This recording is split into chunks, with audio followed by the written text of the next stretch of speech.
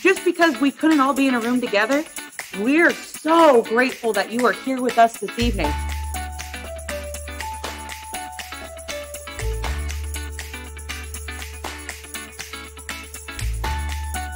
The past 18 months have challenged us in ways we never would have imagined. Our Girl Scout troops, though, they didn't stop, they didn't close, and they certainly didn't give up. All Girl Scouts are good as gold! All Girl Scouts Then she decided to sell her pearls, her strands of pearls, in order to fund this organization. It's contributing to an entire program, a whole community of women and girls that literally want to change the world and they're perfectly capable of it as well.